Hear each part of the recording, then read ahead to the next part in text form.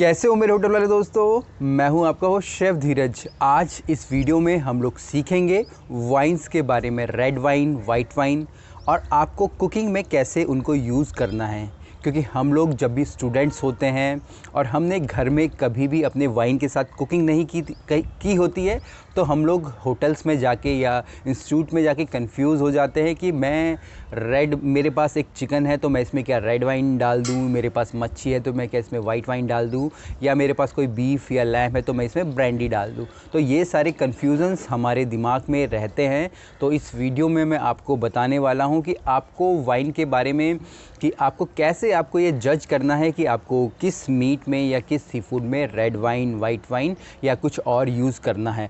बहुत ही सिंपल तरीके होते हैं और एक क्वेश्चन और होता है दिमाग में कि वाइन को हम लोग कब डालें?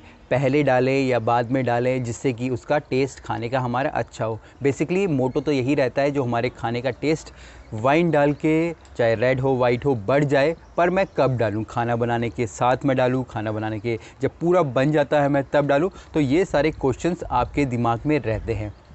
तो इस वीडियो में आपके सारे क्वेश्चंस का आंसर आपको मिल जाएगा और आपका बहुत सारा कन्फ्यूज़न दूर हो जाएगा। और आप लोगों में से जो भी वीडियो को पहली बार देख रहा है प्लीज़ चैनल को सब्सक्राइब कर देना लाल वाला बटन दबा देना। आ, साथ साथ जो बेल आइकन आएगा उसको आपको प्रेस करना होगा तभी जो मेरी नई वीडियोज़ हैं उनका नोटिफिकेशन आपके पास सबसे पहले पहुँच जाएगा। और आप चाहे तो मुझे व्हाट्सअप पर हाई लिख के भेज सकते हैं मैं आपको अपने नए वीडियोज़ जो भी अपलोड होंगे वो डाल दूँगा। आप चाहे तो मुझे दूसरे सोशल मीडिया प्लेटफॉर्म पे भी फॉलो कर सकते हैं। और मेरी पुरानी लंबी वीडियोस हैं, दो, अराउंड 225 से ज़्यादा हैं, आप उन्हें जाके देखिए। आपके होटल इंडस्ट्री में स्पेशली शेफ़ से रिलेटेड आपके सारे क्वेश्चंस का आंसर आपको मिल जाएगा। उसके बाद भी अगर आपको लगता है कि मैंने कुछ छोड़ दिया है या मैं कुछ कवर करना भूल चुका हूँ तो आप मुझे लिख के भेजिए, मैं उन क्वेश्चन की आंसर देने की आपको पूरी कोशिश करूँगा। तो चलिए, रेड वाइन, वाइट वाइन। तो आपको सबसे पहले दिमाग से ये निकालना होगा कि रेड वाइन के लिए हम लोग रेड ग्रेप्स यूज़ करते हैं और वाइट वाइन के लिए हम लोग वाइट ग्रेप्स यूज़ करते हैं। तो ऐसा कुछ नहीं है। ग्रेप्स चाहे रेड हो या वाइट हो, दोनों से दोनों तरीके की दारू बन सकती है। जब आपको पता है कि जब हम अंगूरों को सड़ाते हैं या फर्मेंट करते हैं तो उससे हमारी वाइन बनती है। एक स्टेज आती है जिस टाइम पे कि जो जो हमारे ग्रेप्स होते हैं, ज़्यादा फर्मेंट नहीं होते हैं। तो जब ग्रेप्स कम फर्मेंट होते हैं तो उस स्टेज पे जो वाइन प्रोड्यूस की जाती है, वो होती है वाइट वाइन और जब जो हमारे ग्रेप्स होते हैं, चाहे काले हों, चाहे सफ़ेद हों, वो ज़्यादा फर्मेंट हम लोग जब कर देते हैं तो उससे बनती है हमारी रेड वाइन तो रेड वाइन और वाइट वाइन दोनों सेम अंगूर से ही बन सकती है. ये नहीं कि सिर्फ़ रेड से रेड बनेगी वाइट से वाइट बनेगी. तो पहला क्वेश्चन हो गया ये. दूसरा क्वेश्चन आता है कि मैं रेड मीट में कौन सी वाइन यूज़ करूँ, या मैं चिकन में कौन सी वाइन यूज़ करूँ? तो सबसे पहले आपको अपने जो भी आइटम्स हैं, उनका कलर देखना होगा। जैसे कि मान लीजिए आपके पास चिकन है, फ़िश है तो आप इसमें वाइट कलर की वाइन, ब्रांडी या फिर आपकी शैम्पियन यूज़ कर सकते हैं।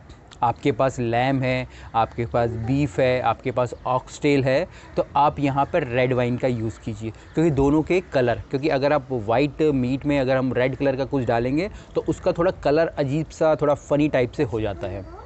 तो जोन से कलर का मीट है, आपको उस कलर की वाइन यूज़ करनी है।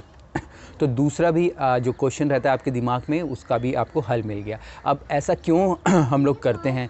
बेसिकली ये यही, इसलिए ही किया जाता है, जो आपकी जो रेड वाइन होती है, वो ज़्यादा मैच्योर होती है। मैच्योर मतलब कि उसको ज़्यादा टाइम लगता है बनने के लिए।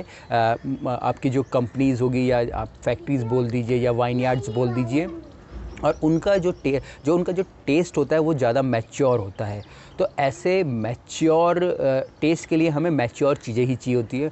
मैच्योर से मतलब है कि हमारे हार्ड मीट्स हार्ड मीट के अंदर हमारा बीफ आ गया लैम्ब आ गया, हमारा ऑक्सटेल आ गया ऑक्सटंग आ गया, ऐसी चीज़ें जो कि काफ़ी ज़्यादा समय लगाती है पकने में या बहुत ज़्यादा जब उनकी एज हो जाती है तब हम लोग उनको खाते हैं या उनका मीट काफ़ी हार्ड होता है।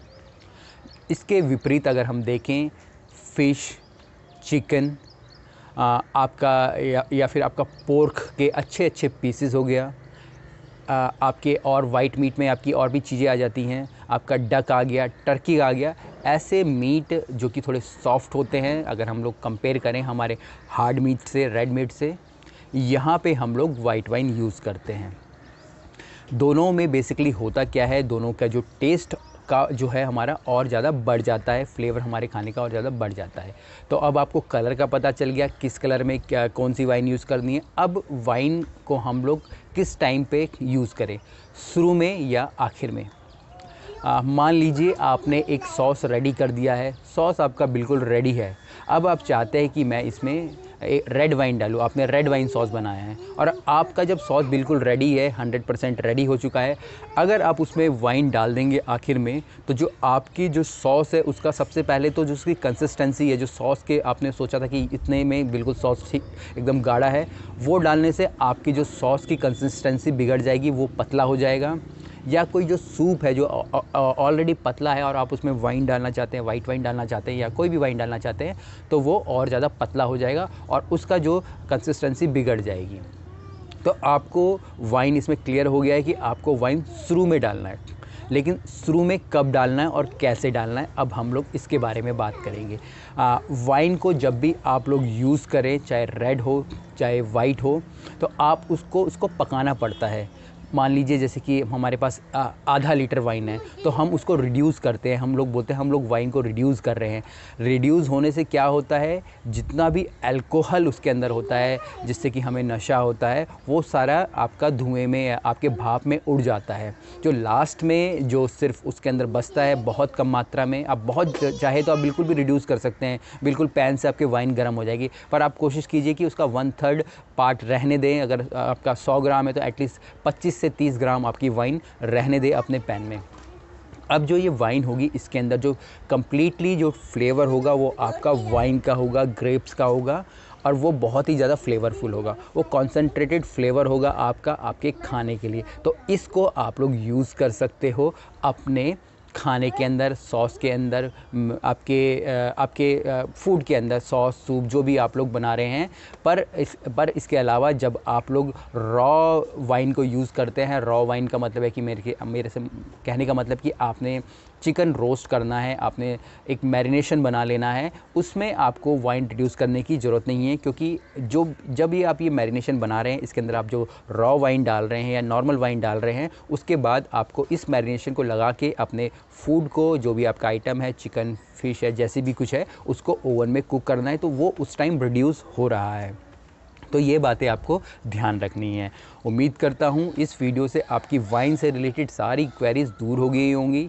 इसमें मैं थोड़ा आपको ब्रेंडी का भी थोड़ा बता देता हूँ साथ साथ ही ब्रेंडी का जो हमारा जो टेम्परेचर होता है कुकिंग टेम्परेचर अगर बोल लीजिए या उसका टेम्परेचर बोल लीजिए बहुत ही जल्दी होता है। जल्दी होने से मतलब कि अगर आप उसको गर्म करेंगे तो बहुत जल्दी वो उड़ जाती है, जबकि वाइन और आपके वाइट वाइन और वाइन को अगर हम लोग कुक करते थोड़ा टाइम लगता है।